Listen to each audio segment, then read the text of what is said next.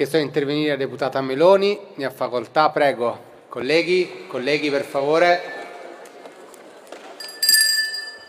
Prego. Sì, grazie Presidente. Dunque, il gruppo di Fratelli d'Italia annuncia il voto contrario alla fiducia a questo governo sulla manovra e oggettivamente non potrebbe essere diversamente, non credo che ci fosse molta suspense sul voto di Fratelli d'Italia. Vede, se il collega Marattin di Italia Viva fa la sua dichiarazione con scarso entusiasmo, si figuri il nostro.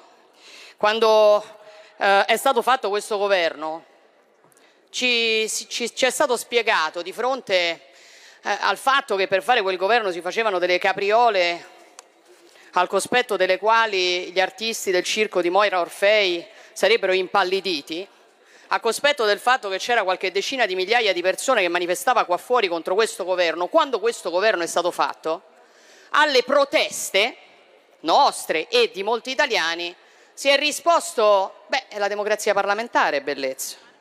Democrazia parlamentare significa che il Parlamento decide, la democrazia parlamentare significa che il Parlamento è centrale. E di grazia posso chiedervi dov'è la democrazia parlamentare? Nel momento in cui il Parlamento non può discutere la legge di bilancio, che vi segnalo essere la prima prerogativa dei Parlamenti dalla fine delle monarchie assolute e quindi più o meno dal XVII secolo? Perché se al Parlamento gli togliete la legge di bilancio vi comunico che la democrazia parlamentare non c'è, non c'è manco il Parlamento. E vorrei chiedere ai colleghi del PD che lo scorso anno andarono a fare ricorso alla consulta contro la, la, la, la contrazione dei tempi parlamentari. Adesso non conta più il Parlamento, adesso non conta più la Costituzione, che quando si arriva al governo finalmente Costituzione e Parlamento non ci servono. Possiamo piegare le istituzioni al nostro piacimento, nostri, alle nostre necessità. Beh, noi non la vediamo così, vede. Pensiamo sia una vergogna quello che è accaduto con questa manovra, con un Senato della Repubblica è un maxi emendamento sul quale è stata posta la fiducia perché il governo doveva emendare se stesso, con una Camera dei Deputati nella quale stiamo facendo, diciamoci la verità colleghi, una pantomima perché noi non abbiamo potuto dire nulla su questa legge di bilancio e lo sapevano tutti dall'inizio. E quindi francamente, eh, insomma, eh, dispiace, anche perché vede, probabilmente se si fosse discussa questa manovra, e qualche buona idea, lo dico ai colleghi del governo, l'avevamo presentata. Fratelli d'Italia non ha avuto un atteggiamento ostruzionistico verso questa manovra, lo dimostra il fatto che abbiamo presentato la metà degli emendamenti che ha presentato il Partito Democratico, partito di maggioranza. Talmente buone proposte che in alcuni casi non si è proprio potuto dire di no eh, e lo rivendico, ne sono fiera, grazie a Fratelli d'Italia, se oggi c'è un milione di euro in più sul fondo per gli orfani eh, delle vittime di femminicidio. È grazie a Fratelli d'Italia se da domani chi viene raggiunto da una bolletta pazza dovrà essere risarcito quando dimostra di non dovere quei soldi. È grazie a Fratelli d'Italia se le mamme che hanno delle patologie per le quali non possono allattare avranno un bonus per poter comprare il latte in polvere. È grazie a proposte di buonsenso che abbiamo fatto. E però ne avevamo fatte tante altre.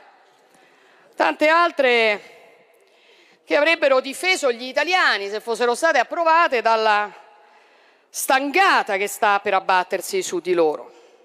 Perché vede, l'altra cosa incredibile di questa manovra è che quando è nato questo governo ci è stato spiegato che il governo era necessario per il fatto che se non si fosse fatto sarebbero scattate le clausole di salvaguardia sull'IVA, le accise sui carburanti e compagnia e sarebbero aumentate le tasse. E quindi uno si aspetta che nel momento in cui questo governo viene fatto la manovra preveda non solo che non scattino le clausole di salvaguardia, che vengano abolite le clausole di salvaguardia, ma che le tasse non aumentano. È accaduto? No. No. Parliamo delle, delle, accise, delle clausole delle accise sul carburante? Triplicate, triplicate nel 2021, quadruplicate nel 2022, quintuplicate nel 2023. E sai che cosa significa quando le accise sul carburante aumentano così? Che aumenta il trasporto delle merci e quindi aumentano le merci per il consumatore. Si chiama IVA mascherata. L'IVA mascherata, non te la faccio aumentare da una parte e te la metto dall'altra. Esattamente come rappresentano un'IVA mascherata la, la tassa sulla plastica e la tassa sullo zucchero. Perché Presidente non ci prendiamo in giro.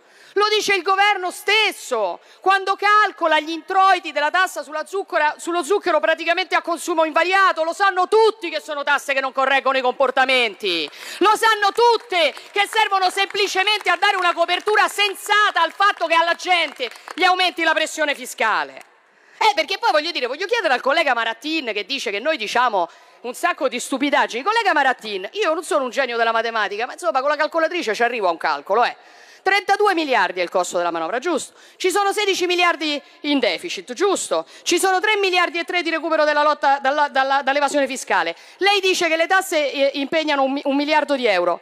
Le comunico che mancano 12 miliardi all'appello. Avete fatto 12 miliardi di tagli alla spesa pubblica e allora se ci spiegate quali sono, perché io non li prevedo, oppure mi sa che le tasse aumenteranno un tantinello nel 2020 e nel 2021 e negli anni a seguire, perché questo dicono i saldi perché questo dicono i numeri. E infatti se ne sono inventate un po' tutte, no? Eh, eh, I buoni pasto, le, le tasse sulle auto aziendali, i tabacchi, la tassa sulla fortuna. Tassa sulla fortuna dovrebbe pagarla il governo, di miracolati che stanno al governo, mentre la gente li vorrebbe a casa. Pagatela voi la tassa sulla fortuna. Il resto dei soldi, dicevamo, si prendono in deficit. Se, colleghi, scusate, un po' meno, grazie. Colleghi. 16 miliardi di euro. Lo so, lei è troppo preso dal mio intervento, grazie. Il resto dei soldi, dicevamo, 16 miliardi in deficit. E anche qui intanto corre sempre l'obbligo di ricordare che il deficit sono nuovo debito, nuovo debito vuol dire nuovi interessi sul debito, quindi sempre gli italiani pagano eh, a stringere, ma vabbè. Io non sono contrario al fatto che si possano spendere i soldi in deficit. Però vede, quando noi spendiamo i soldi in deficit, al netto di Di Maio che non l'ha capito, ricordo quando lo scorso anno diceva ci hanno sempre detto che i soldi non c'erano, invece li abbiamo trovati. Che, insomma, sai, quando spendi i soldi in deficit è una cambiale, vuol dire che i soldi non ci sono e, e ti stai indebitando per farteli prestare. Però io sono anche, diciamo, si possono spendere i soldi in deficit. Il punto è che quando si spendono i soldi in deficit, si stanno indebitando i propri figli. Allora sono soldi che si possono spendere, ma per qualcosa che rimanga ai nostri figli. Vuoi spendere i soldi in deficit? Va bene, ma ci devi fare infrastrutture, crescita, messa in sicurezza del territorio, qualcosa che rimanga per le generazioni a venire. Non si spendono 16 miliardi di soldi in deficit per pagare il reddito di cittadinanza ai brigatisti, agli spacciatori, ai nomadi e agli abusivi, che è esattamente quello che fa questa manovra. Perché vi siete dimenticati di dire che ci sono 10 miliardi di euro tra reddito di cittadinanza e marchette varie. Ci sono! Non spendi i soldi dei tuoi figli per fare cassa oggi! Cassa elettorale! Cassa elettorale, perché diciamoci, noi, noi abbiamo avuto il coraggio di dirlo dall'inizio, ma dopo un anno che questo reddito di cittadinanza non funziona, ce lo vogliamo dire o non ce lo vogliamo dire? Ce lo vogliamo dire che non è servito ad aiutare chi non poteva lavorare, ma chi non voleva lavorare onestamente nella maggior parte dei casi? Perché certo che siamo favorevoli ad aiutare chi non può lavorare, ma uno Stato giusto non mette sullo stesso livello dell'assistenzialismo chi può lavorare chi no, e chi non può farlo, perché finisce per discriminare il più debole. E questo è quello che c'è in questa manovra di bilancio. Poi, ovviamente, terzo, terzo pilastro di questa manovra è la presunta lotta all'evasione fiscale. E vede, ci dico presunta perché ancora una volta noi abbiamo uno Stato che finge di combattere l'evasione ma in realtà fa caccia al gettito. Ancora una volta noi abbiamo uno Stato che fa il debole con i forti e il forte con i deboli. Ancora una volta noi abbiamo uno Stato che se la prende con gli scontrini dei bar, quando la vera evasione fiscale sta da tutt'altra parte e tutti fanno finta di niente. Vogliamo dircelo dove sta l'evasione fiscale? Frodi Carosello, 28 miliardi di euro l'anno, non c'è niente in questa manovra la vergogna delle multinazionali che ti spostano la sede eh, legale fuori dai confini nazionali, altri quasi 30 miliardi di euro, non c'è niente. Vogliamo parlare della web tax al 3%? 3%. Ah, gli facciamo pagare 3%? Che al primo ricorso, oltretutto, quella roba lì salta. L'ha fatta Fratelli d'Italia una proposta giusta su questo tema. Era il principio dell'imposta di bollo. Ti tasso sul numero degli accessi che hai. Ma certo che non ci andiamo a pestare i piedi ai grandi colossi del web. No, lì stiamo zitti. Lì stiamo zitti. Vogliamo parlare degli extracomunitari, dei cinesi che aprono e chiudono centinaia di imprese senza versare un euro allo Stato italiano? Noi l'abbiamo fatta anche qui una proposta. Che ci vuole? Un deposito cauzionale per gli extracomunitari che vogliono aprire qui. Non devi pagare di più, ma voglio avere la garanzia che paghi. Bocciato! Perché c'è un caso in cui anche per la sinistra vale il prima gli italiani, quando si pagano le tasse. Per tutto il resto gli italiani arrivano dopo. E certo che una manovra del genere, Presidente Fico, non poteva che essere fatta dal governo più a sinistra della storia della Repubblica. Avete questa, ormai avete tutti questa cosa fanta, fa, fantastica e fantasiosa e concludo di dare alle leggi dei nomi. Ecco, questa la potete chiamare manovra bandiera rossa. Così potete anche giustificare la vergogna di 400.000 euro spesi per celebrare la nascita del Partito Comunista Italiano.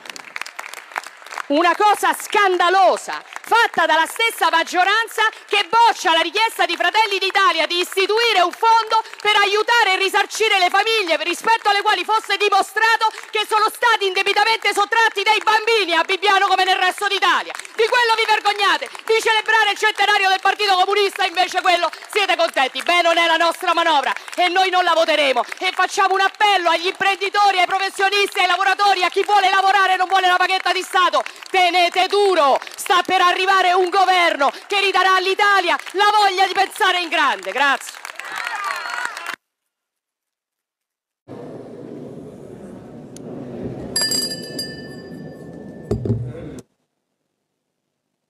Grazie Presidente. Dunque Presidente Draghi, mi permetta con franchezza di dirle che eh, diciamo, pensavamo di avere già visto tutto in questi giorni con lo spettacolo francamente desolante andato in scena durante la stesura della risoluzione di maggioranza in tema di invasione russa dell'Ucraina. E però purtroppo da ieri noi siamo andati oltre la desolazione con il principale gruppo politico che sostiene la sua maggioranza che di fatto consuma il suo arachiri e il ministro degli esteri che denuncia di essere stato messo in discussione proprio sul posizionamento internazionale dell'Italia. Certo questo dimostra quanto Fratelli d'Italia avesse ragione quando tentava di spiegare che un governo che ha la pretesa di mettere insieme tutto e il contrario di tutto non può produrre nulla di buono. E certo siamo oggi più fieri di ieri di trovarci all'opposizione di un governo privo di visione e privo di identità anche di fronte alle grandi sfide della storia. Però non ci rallegra, Presidente Draghi.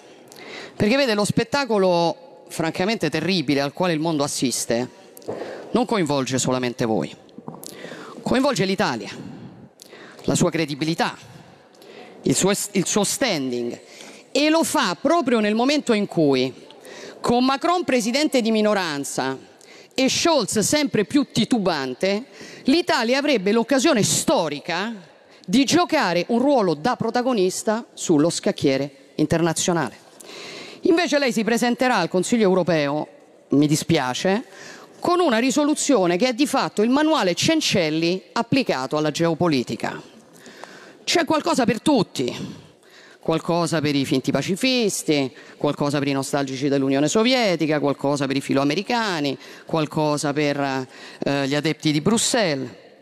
Tutto rigorosamente scritto in maniera tale che ciascuno possa rivendicare di averla spuntata e quindi inevitabilmente con una risoluzione che, mi dispiace, non chiarisce bene la posizione dell'Italia.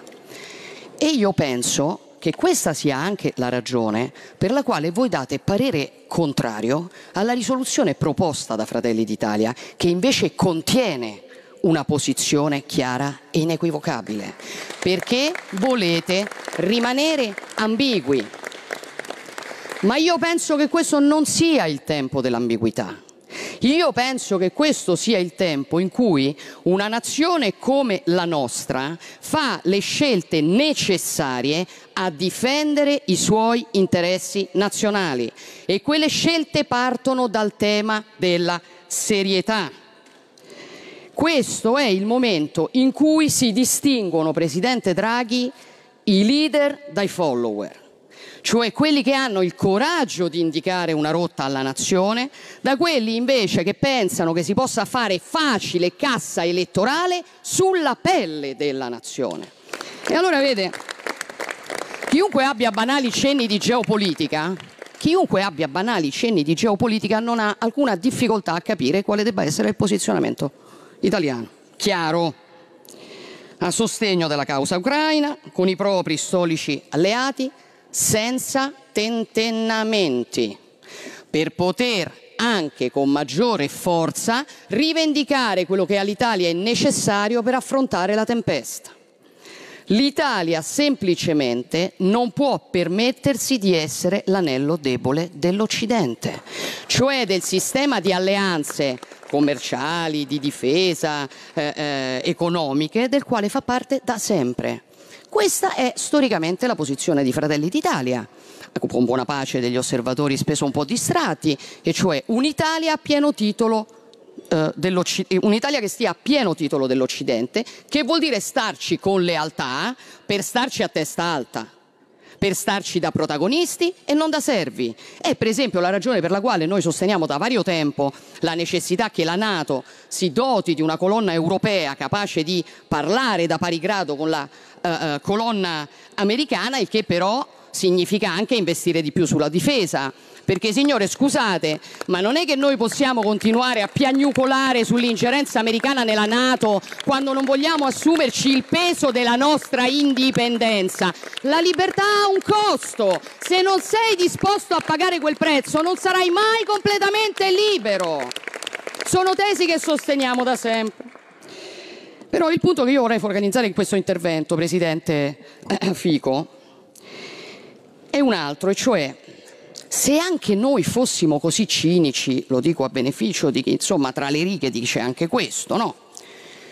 Da riuscire a girarci dall'altra parte rispetto alle immagini atroci che ci arrivano dall'Ucraina, temo che dovremmo comunque fare i conti con alcune questioni non eludibili che ci coinvolgono direttamente.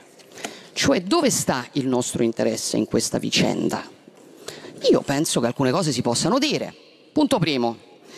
Con l'invasione ucraina la Russia rivendica un mondo nel quale lo Stato militarmente più forte assoggetta altri Stati anche per assumerne chiaramente il controllo delle ricchezze e delle materie prime. È il mondo che vogliamo? Ma dico di più, ce lo possiamo permettere? Cioè noi ci possiamo permettere che non, che non sia più il diritto internazionale a vigere, ma la legge del più forte di chi ha più carri armati? Eh, signori, pallottoliere alla mano, temo che non ce lo possiamo permettere. Punto secondo. I carri armati russi entrano in Ucraina con la bandiera rossa con la falce e il martello, rivendicando i confini dell'ex Unione Sovietica. Lo stesso Putin parla di confini storici della Russia e questo significa non solo Ucraina, Significa Moldavia, significa Georgia, significa paesi baltici, significa porzioni di Polonia, significa porzioni di Finlandia, il che significa che quelli che sostengono che se gli ucraini si arrendono noi abbiamo risolto il problema sono degli ingenui a confronto dei quali Alice nel Paese delle Meraviglie è Ottone di Bismarck. È vero esattamente il contrario. Se l'Ucraina capitolasse e facilmente, la guerra probabilmente dilagherebbe in mezza Europa. E non solo, forse fuori anche dai confini europei, forse altri raccoglierebbero la debolezza occidentale. Come cominciamo a vedere per esempio con una Cina che si fa sempre più minacciosa verso Taiwan. Per cui ci piaccia o no, signori, le cose vanno dette come stanno, noi siamo all'interno di un conflitto che è molto più ampio della vicenda ucraina e che ha come obiettivo la revisione degli assetti eh, eh, mondiali. Questo è il tema del quale bisogna parlare con chiarezza, anche per spiegare agli italiani che cosa stiamo facendo. Se la Russia vincesse, il vero vincitore non sarebbe tanto la Russia, quanto la Cina di Xi Jinping. Se l'Occidente capitola, a farne il prezzo più alto sarà chi è più debole, più esposto in Occidente, cioè noi europei, che probabilmente finiremmo sotto la sfera di influenza cinese credo che siano materie che vanno argomentate. Quindi, piaccia o no, la guerra che stanno combattendo gli ucraini riguarda direttamente anche noi. E quindi la realtà, diciamo, è difficile da accettare, ma non si può eludere. È la ragione per la quale l'Italia deve difendere l'Ucraina ed è la ragione per la quale deve difendere l'Ucraina chi vuole la pace Perché facile, signori. Da che mondo è mondo, la base della diplomazia, cioè della disponibilità al dialogo, è che ci sia sostanzialmente un equilibrio tra le parti in campo. Altrimenti a che cosa serve la diplomazia se c'è uno che può vincere e l'altro che ha già perso? Quindi comunico ufficialmente che chi vuole la pace dovrebbe aiutare eh, il popolo ucraino nella speranza che si arrivi a uno stallo che consenta di aprire le trattative. La seconda cosa che voglio dire, Presidente, è questa. Ma se anche l'Italia non fosse direttamente coinvolta, come io ho tentato in questi pochi minuti di spiegare, cioè questa discussione avrebbe un senso comunque, eh? nel senso, parliamoci chiaro. Voi pensate che noi decidiamo il destino della guerra in Ucraina? Noi Italia? Beh, temo di no. Cioè, se domani l'Italia decidesse vergognosamente di sfilarsi al fronte occidentale, non cambierebbe molto, eh? Il resto dell'Occidente continuerebbe a sostenere gli ucraini. Solo che noi avremmo totalmente compromesso qualsiasi credibilità e ci ritroveremmo ad aver confermato l'eterno stereotipo dell'Italia spaghetti e mandolino e lo pagheremmo, signori lo pagheremmo in termini di rapporti con gli alleati, lo pagheremmo in termini di sicurezza, perché domani vado verso la conclusione, Presidente, mi dia un minuto, eh, lo pagheremmo in termini di sicurezza perché domani se avessimo bisogno nessuno si sentirebbe più diciamo, eh, eh, nella, nella, necessità di doverci difendere, per esempio sul fronte mediterraneo, e lo pagheremmo in termini economici e commerciali perché la nostra eh, eh, diciamo, eh, quantità di esportazioni con la Russia viaggia intorno all'1,5%, mentre l'Occidente cuba l'80%. E allora non è il tempo di stare lì a fare cassa o, alla, o, a fare titubanza, è il tempo di dire da che parte sta l'Italia e di chiedere in cambio quello che all'Italia serve, perché questo sì, solidarietà diamo e solidarietà pre pretendiamo. In questa guerra non ci può essere chi paga e chi ci guadagna. Per questo per primi abbiamo chiesto un fondo di compensazione per le nazioni più colpite dalle sanzioni. Per questo mi aspetto che il Presidente Draghi con ancora maggiore forza ponga alcune questioni al Consiglio europeo, che sono il tema del tetto al prezzo del gas, che è il tema chiaramente alimentare, ma che è anche il tema, Presidente Draghi, lei questo lo capisce bene, ma noi ci possiamo permettere le dichiarazioni che ha fatto la Presidente della Banca Centrale Christine Lagarde in giorni come questi? Ma ce lo possiamo permettere? Allora... Deve concludere? Allora, concludo, Presidente. Concludo dicendo questo. Io eh, non sono, noi non siamo nella condizione di votare eh, la, mozione, la risoluzione della maggioranza e eh, chiaramente non ci illudiamo che loro votino la nostra però sarà molto più difficile ottenere le cose che ci servono se ci si va con una posizione debole. Eh? Sarà ancora molto più difficile, per cui noi abbiamo depositato una risoluzione che offre una posizione chiara per rafforzare l'Italia nel contesto internazionale. Non la voterete per carità, però almeno gli, itali gli italiani sapranno ancora una volta cosa avrebbe fatto un governo forte, eh, libero e senza condizionamenti a ribasso come questi devastanti di queste maggioranze intervenire la deputata Meloni, ne ha facoltà, prego. Sì, grazie Presidente. Dunque, Presidente Conte, io starò al tema perché quando Fratelli d'Italia ha chiesto questa informativa lo ha fatto in vista del Consiglio europeo. Quindi non parlerò in questa sede di molte delle cose delle quali pure lei ha parlato, che riguardano la fase 2 e la ripartenza.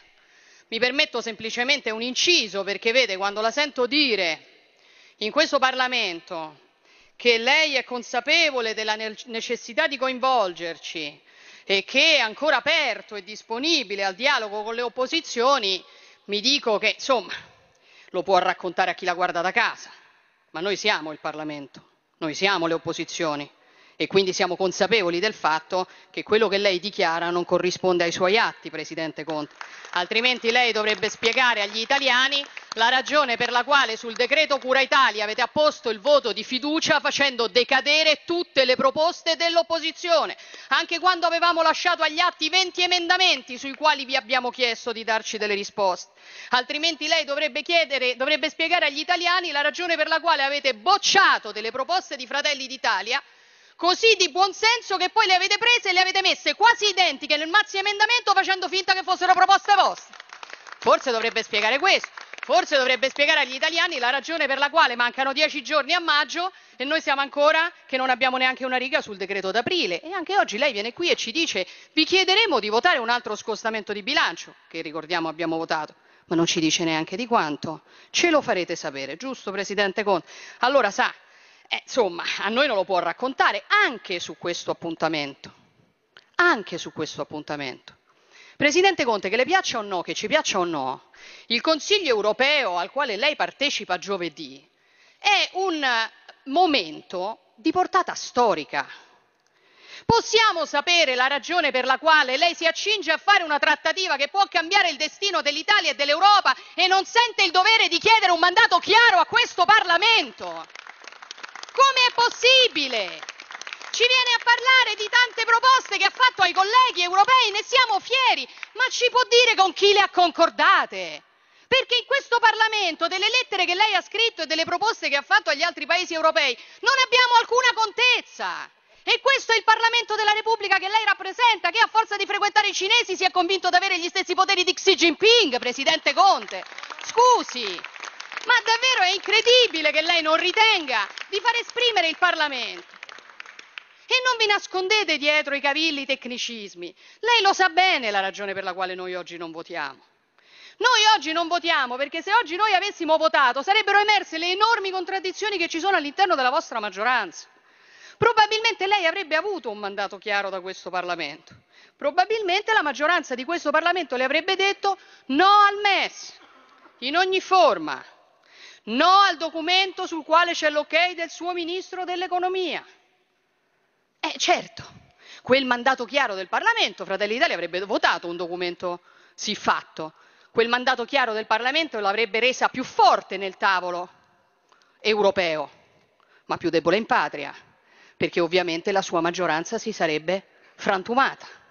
E allora lei è andato in televisione a dire agli italiani con questo piglio deciso che siamo trasparenti, poi però evita un chiaro voto parlamentare alla luce del sole e preferisce sì lavorare con il favore delle tenebre. E allora non ce le faccia, Presidente Conte, le lezioni in televisione, perché nella vita bisogna essere coerenti.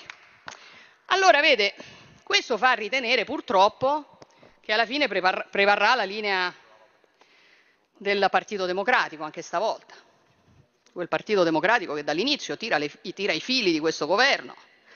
E purtroppo questo significa anche che la daremo vinta alle consorterie europee che a loro volta tirano i fili del Partito Democratico da qualche tempo. Allora, vede, io non sono, non sono ottimista, non sono ottimista soprattutto dopo averla sentita in quest'Aula, prendo atto che la posizione del governo è mutata dall'iniziale non MES sì Eurobond all'attuale MES vediamo, Eurobond speriamo, che è una posizione un tantino diversa. Prendo atto anche della dichiarazione del collega dei 5 Stelle che di fatto dice va bene il MES senza condizionalità, poi dopo parleremo delle condizionalità, al Senato ho sentito dire cose straordinarie, la geniale proposta che adesso il Partito Democratico è cambiare nome al MES per farla digerire ai 5 Stelle. Lo chiameranno FES per rendere ancora più chiara l'idea che hanno del loro alleato di governo. Però gli italiani FES non sono, non sono e quindi è difficile che li prendiamo in giro. Allora, vede, il problema qual è? Il problema è che, il problema è che lei purtroppo si presenta a questo appuntamento da capo di un governo litigioso, eh, debole e devo dire incapace di dare delle risposte, ma non lo voglio dire perché sono dell'opposizione, devo dire che siete incapaci di dare delle risposte. Lo dico perché lo dite voi. Lo dite voi ogni giorno nel momento in cui abdicate alle vostre funzioni e consegnate le vostre funzioni a pletore di esperti e di task force. Presidente Conte, il vostro governo ha 65 eh, persone tra ministri e sottosegretari, i quali a loro volta hanno numerosi e super pagati staff. La Presidenza del Consiglio dei Ministri spende ogni anno più di 300 milioni di euro per il suo funzionamento. Si è mai chiesto a cosa serva tutto questo? Serve a governare, Presidente Conte, serve a dare le risposte ai problemi degli italiani mentre voi decidete di abdicare a quelle competenze che sono vostre e di darle in mano a queste task force, probabilmente perché non vi ritenete all'altezza del compito o forse perché siete in altre faccende affaccendati. è tipo stare per giorni e giorni chiusi dentro una stanza a spartirvi le poltrone delle partecipate statali. Perché scusi Presidente Conte, ma è davvero incredibile, questo lo dobbiamo denunciare al cospetto degli italiani. Avete esautorato il Parlamento, avete rinviato le elezioni, avete sospeso le libertà personali, state tracciando la vita i movimenti delle persone. In Italia non si può fare più niente perché c'è l'emergenza e nulla sarà come prima, però la spartizione partitocratica delle poltrone è quella identica a prima. Non c'è differenza. Non c'è differenza.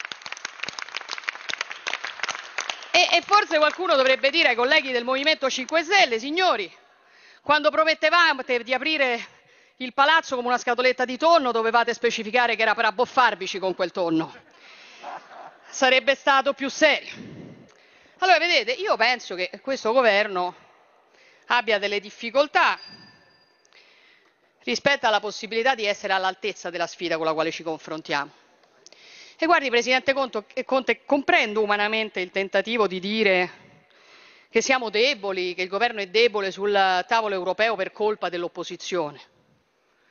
Però è una tesi fragile. Quello che lei ha detto in televisione non mi faccia quella faccia, l'ha detto lei la settimana scorsa, che noi indeboliamo la trattativa. Però è una tesi fragile. Penso che alla fine se ne renda conto anche lei, anzi, guardi, la durezza delle opposizioni su un tavolo internazionale è una bella carta da usare per un governo. Eh. Lei può sempre andare in Europa e può dire guardate signori, mi dispiace io questa roba non la posso firmare perché in Italia non ho solo il PD che dice che Parigi è la capitale d'Italia, non ho solo il Movimento 5 Stelle che è fiero di aver eletto con i suoi voti determinanti Ursula von der Leyen. In Italia ho anche quei patrioti di Fratelli d'Italia che se io torno con un accordo non vantaggioso mi scatenano l'inferno e quindi non la posso firmare questa roba qui le abbiamo dato una sponda, Presidente Conte. Certo, le abbiamo dato una sponda se lei vuole andare fino in fondo. No, ma li faccia parlare, Presidente, non si preoccupi. Non colleghi, colleghi. Le abbiamo colleghi. dato una sponda se lei intende andare fino in fondo, certo, se intende essere coerente. Se invece lei pensa di cedere, beh sì, allora noi rappresentiamo un problema. Noi rappresentiamo un problema. Perché vede, Presidente, noi non siamo nella posizione di cedere. L'Italia non è nella posizione di cedere, banalmente perché non ce lo possiamo permettere. Noi siamo di fronte a uh, un baratro e lei sa bene come me che la situazione è più difficile di quella che stiamo immaginando, sarà più difficile di quella che stiamo immaginando. Lei sa meglio di me che l'Italia rischia la desertificazione del suo sistema economico e produttivo, sa meglio di me che rischia un'ecatombe occupazionale di dimensioni e di proporzioni inimmaginabili e sa meglio di me, lo sapete tutti in quest'Aula, che di fronte a questo dramma l'Europa ancora una volta, non so che film abbia visto il collega Del Rio, ma non è lo stesso film che sto guardando io, è stata purtroppo inadeguata. Tutti vedono oggi quello che noi denunciamo da qualche anno. Un'Europa che entra nella tua vita e definisce ogni singolo cavillo, ma che poi sulle grandi questioni del nostro tempo non sa mai essere all'altezza.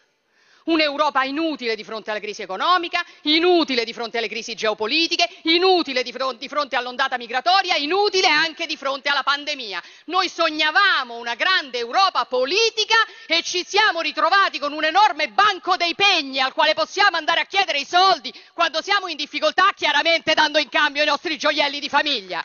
È qualcosa di molto diverso da quello che sognavamo e da quello che volevamo. E allora lo dimostra anche l'ultimo pacchetto, anche qui io non sono d'accordo che questo pacchetto varato dall'Europa sia un grande pacchetto.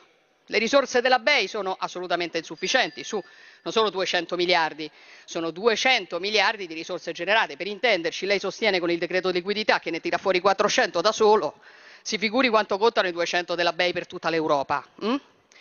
Per accedere alla SURE, la gas, eh, per la cassa integrazione bisogna versare miliardi di garanzie. E poi c'è questo famoso MES senza condizionalità, che è un cavallo di troica. Allora a me fa sorridere che, sentito anche oggi, ma ci vogliono dare 36 miliardi e che non ce li prendiamo. Sembra quasi che ce li stiano regalando. Ma qualcuno lo può spiegare agli italiani che non ce li stanno regalando 36 miliardi? Ce li stanno semmai prestando Cioè noi abbiamo dato 15 miliardi a un fondo che oggi ci vuole prestare 36 miliardi che dovremo restituire tutti e 36 pagando sopra gli interessi sui soldi nostri che ci prestano. Ma che affarone! Wow! Ma complimenti, ma veramente una cosa straordinaria. Beh, un grande affare. E scusate, i prestiti non sono mai senza condizionalità. Sono prestiti, hanno delle condizioni e infatti ce, ce l'ha anche questo. Perché che ti dicono? Ti dicono che se tu i soldi non li restituisci nei tempi e nei modi in cui li devi restituire ti entra la troica dentro casa. Il direttore del MES si spinge avanti e dice che le condizionalità light valgono per un anno, che vuol dire che ti attirano tipo trappola per topi e poi tra, tra un anno ti scatta la tagliola, eccetera, eccetera, eccetera. Allora vedete, chi dice che il MES light è una grande occasione per l'Italia, lavora contro l'Italia. E noi con chiarezza vogliamo dire di no. Noi pensiamo che le soluzioni siano altre. Noi pensiamo che tra l'altro la posizione dell'Italia sia una posizione di forza in questo momento. Presidente Conte, non se lo dimentichi, tutti capiscono in Europa che l'Europa non può fare a meno dell'Italia. Perché senza Italia e senza Gran Bretagna l'Europa è una grande Germania e una grande Germania schiaccia anche la Francia. Quindi noi siamo in una posizione di forza adesso.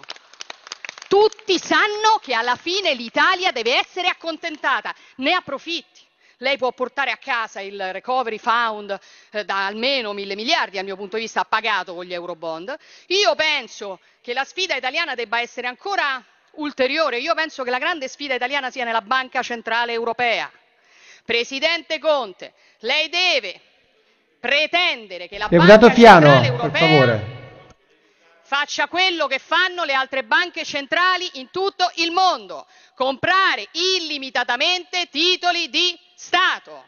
La proposta che io le voglio formulare, se il collega Fiano... Ragazzi. Deputato Fiano, deputato Orlando, deputato De Luca. Io penso che l'Italia dovrebbe emettere i cosiddetti bot patriottici proposti da Giulio Tremonti cioè bot a titoli di Stato a lunghissima scadenza, almeno cinquantennali, basso rendimento, non tassati, non tassabili, ovviamente circolabili, e che dovrebbe pretendere dalla Banca Centrale Europea che tutti i titoli di Stato, tutti i bot patriottici che non vengono piazzati sul mercato vengano automaticamente comprati dalla Banca Centrale Europea. Questa dovrebbe essere la linea del Piave italiana nella trattativa del Consiglio europeo e noi avremmo formalizzato queste proposte se qualcuno ci, avrebbe, ci avesse consentito di votarle all'interno di quest'Aula.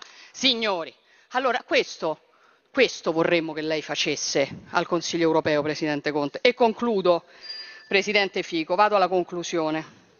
Noi vorremmo che facesse questo e vorremmo che ricordasse in Europa che noi non chiediamo l'elemosina a nessuno. L'Italia non chiede aiuti a nessuno. L'Italia chiede semplicemente di avere indietro quello che le appartiene. L'Europa esiste grazie a noi. Noi versiamo 100 miliardi di euro ogni sette anni all'Unione Europea. Ce ne torna indietro solamente una parte piena di vincoli. La Banca Centrale Europea esiste grazie a noi. Intere nazioni si sono arricchite in questi anni sulle nostre spalle e il nostro lavoro. E la prima è la Germania che ha una moneta unica costruita intorno ai suoi interessi e la seconda è l'Olanda con un paradiso fiscale che drena risorse a tutti i Paesi membri. Dica in Europa che non ne possiamo più della storiella delle cicale e delle formiche, perché non so se noi siamo delle cicale, ma loro sicuramente non sono delle formiche, sono semmai delle sanguisughe che si sono gonfiate in questi anni col nostro sangue e il nostro lavoro. Vada a dire questo, vada a dire che l'Europa non aspetti solidarietà dall'Italia quando le cose andranno meglio se non sa dare oggi solidarietà all'Italia mentre siamo nella tempesta. Abbia il coraggio di fare questo e ci troverà al suo fianco. Grazie. Grazie, che sono intervenuta la deputata Meloni, ne ha facoltà, prego. Presidente Conte, nell'ora più incerta a sempre più italiani pare che questo governo non ci stia capendo molto. E non perché lo denunciamo noi, ma perché lo confessate voi. Nel momento stesso in cui sfornate tre DPCM in 12 giorni l'Italia rischia di ritrovarsi in una situazione peggiore di quella che abbiamo affrontato a marzo. E vede, io lo considero imperdonabile, francamente, perché in questi mesi il vostro governo ha avuto poteri mai visti nella storia repubblicana e risorse mai viste nella storia d'Italia. Avete avuto tutto quello di cui c'era bisogno per fare del vostro meglio, compresa la possibilità di scavalcare sistematicamente il Parlamento della Repubblica Italiana come state facendo anche oggi. Non ci sono scuse per quello che sta accadendo. Noi continuiamo a parlare di emergenza, signori, ma emergenza significa situazione imprevista.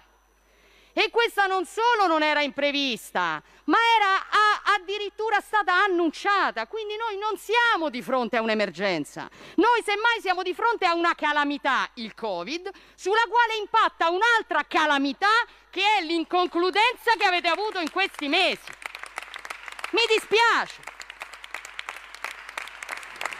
E perché non siamo preparati ad affrontare questa seconda ondata? E non siamo preparati, Presidente Conte, perché nonostante tutto questo, eh, negli ultimi mesi voi siete stati in altre faccende affaccendati. E guardi, glielo dimostro con i fatti. E le dimostro anche la nostra serietà, il tentativo di dare una mano a cospetto della vostra ignavia. Prendiamo un mese a caso. Di che cosa vi siete occupati nel mese di agosto? Glielo faccio vedere. Primo agosto, accordo sul decreto sicurezza. Nello stesso giorno Fratelli d'Italia denunciava l'ennesima fuga di migranti da un centro d'accoglienza in violazione della quarantena e chiedeva al governo se fosse normale rischiare di rendere vani i sacrifici che gli italiani avevano fatto per la vostra furia immigrazionista. Perché vede, vi siete vantati, giustamente, del fatto che l'Italia era riuscita a contenere il contagio che invece continuava a galoppare in Europa.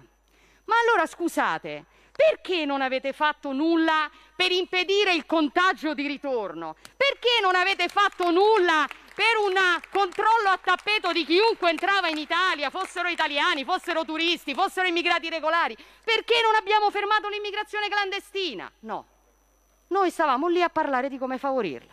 Ma eh, posso andare avanti. 4 agosto, nel decreto sulla pandemia, la proroga dei vertici degli 007. Uno dei tanti esempi che si potrebbero fare di come la pandemia è stata utilizzata per fare un'infornata di nomine e di poltrone come avete fatto in questi mesi. Nello stesso giorno nello stesso giorno invece noi irresponsabili chiedevamo conto al presidente Zingaretti di dove fossero finite le mascherine che aveva profumatamente pagato con 12 milioni di euro e che non sono mai state consegnate ai cittadini. E chiedevamo conto allo sceriffo di Nottingham, Vincenzo De Luca, di dove fosse l'ospedale Covid che aveva promesso ai campani. Ci occupavamo di queste cose. Posso andare avanti, guardi, perché di esempi ce ne sono moltissimi. 27 agosto, legge elettorale entro l'estate. E nello stesso giorno Fratelli d'Italia denunciava quanto fosse pazzesco che il governo aveva risolto il problema del distanziamento degli studenti sui mezzi pubblici stabilendo il principio che gli studenti erano congiunti. Esatto. Come se il Covid si potesse fermare con i giochi di parole. 28 agosto, la Cirinna tuona. A settembre non daremo tregua sulla legge contro l'omofobia. Ma siete sicuri che gli omosessuali di questa nazione non avrebbero voluto vedervi al lavoro per difendere le loro attività piuttosto che su questa roba qui? Siete sicuri? Lo stesso giorno noi proponevamo un'assistenza sanitaria speciale per gli anziani che lavorano all'interno delle scuole. Questi sono i fatti, signori. E la storia ve ne chiederà conto e vi chiederà conto anche della ragione per la quale non avete neanche voluto ascoltare. Chi bene o male, anche dall'opposizione, tentava di fare la sua parte, non per dare una mano a questo governo che prima va a casa e meglio è, ma per dare una mano alla nazione. No, eravate troppo impegnati a darci dei negazionisti, però anche qui lo dico anche al collega che è intervenuto prima. Guardi che gli unici negazionisti li abbiamo visti al governo. Zingaretti, Zingaretti diceva che non ce n'è Covid a Milano e giù aperitivi quando noi chiedevamo di fare la quarantena per chi rientrava dalla Cina. Il ministro Lamorgese ci dice che non ce n'è Covid sui barconi, sfidando la scienza e anche l'intelligenza degli italiani.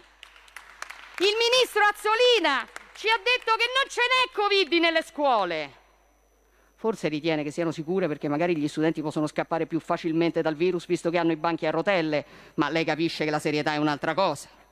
E invece noi proponevamo i termoscanner, le tensostrutture per allargare gli spazi, il coinvolgimento del privato, la, la scorrere le graduatorie per coprire le carenze di organico.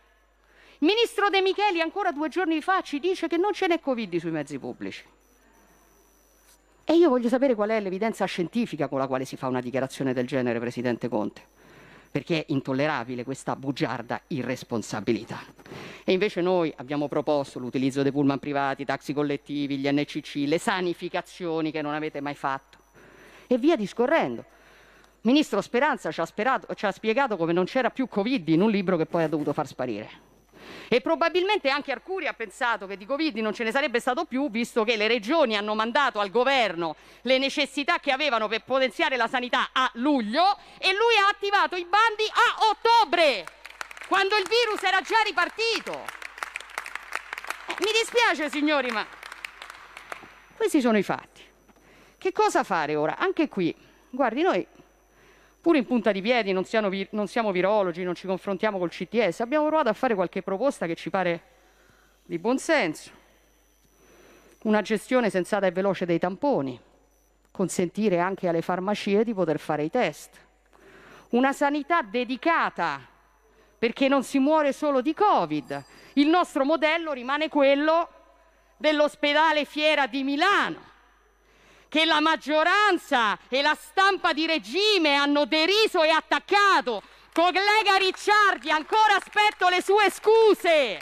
Oggi tutti vorrebbero avere quello che c'è in Lombardia.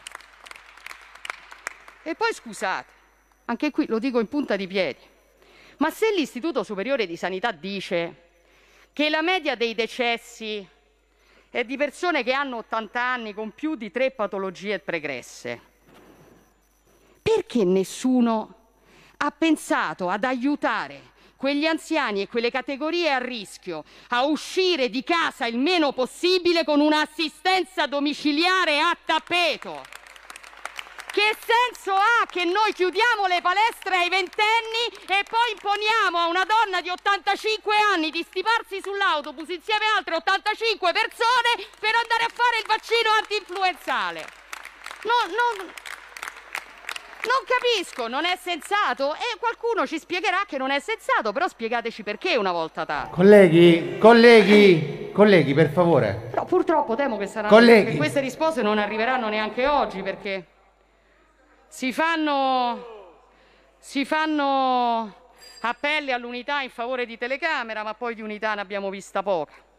Abbiamo visto piuttosto la voglia di scaricare le responsabilità si scaricano le responsabilità sulle regioni, facendo finta di non sapere che l'articolo 117,2 lettera Q della Costituzione italiana dice che la profilassi internazionale è competenza dello Stato, quindi vostra, si scarica sui comuni facendo finta di non sapere che non hanno gli strumenti per far rispettare le prescrizioni, si scarica sui ristoratori, sui commercianti, sugli italiani, è sempre colpa di qualcun altro, Presidente Conte. Solo vostra non è mai, solo che voi siete quelli che decidono e quindi qualcosa non torna. L'ho sentita dire qualche sera fa in televisione che avete chiuso i ristoranti per decongestionare i mezzi pubblici. Dico, ma lo pensa veramente? Guardi che i mezzi pubblici non sono pieni all'uscita dei ristoranti, sono pieni all'entrata delle scuole e degli uffici. Ma questo immagino che lo sappia anche lei. E vede, credo che sia per questo che poi la gente ha difficoltà a credervi. Anche sui ristori avete mentito. Parlavate di un rimborso pari al 100-200% del calo del fatturato e poi ci siamo ritrovati con un ristoro pari al 100-200% del bonus previsto nel decreto rilancio.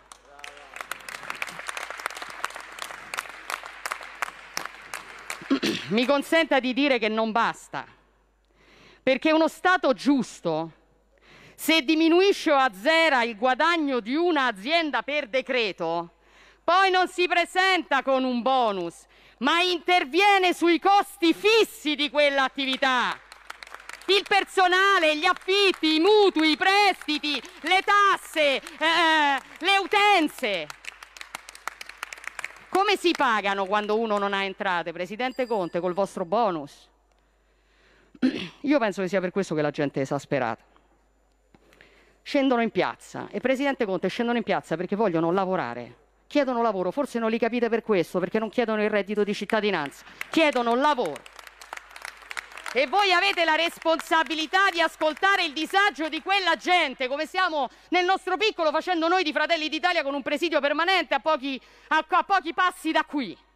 Concluda. Non vi trincerate, vado alla conclusione, non vi trincerate dietro quei quattro idioti violenti che si infilano nelle manifestazioni finendo per farvi un favore, perché la realtà è molto più ampia.